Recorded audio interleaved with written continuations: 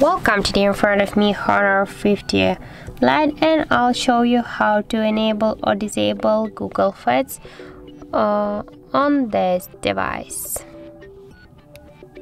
Now I'll just refresh the feed here.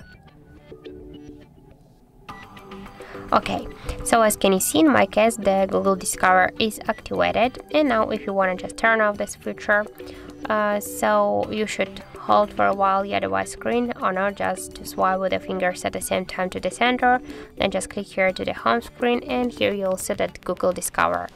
As can you see it's activated. Just to turn it off you should click here once on the switcher and that's it now just when we'll go back here to the home screen, when we'll swipe with one of our finger to the right side, you can see that we just can't activate anymore the Google Feed.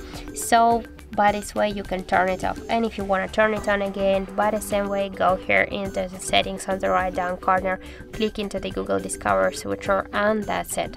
So as can you see that's really simple so that's it, thank you for watching and if you find this video helpful, don't forget to leave a like, comment and to subscribe our channel.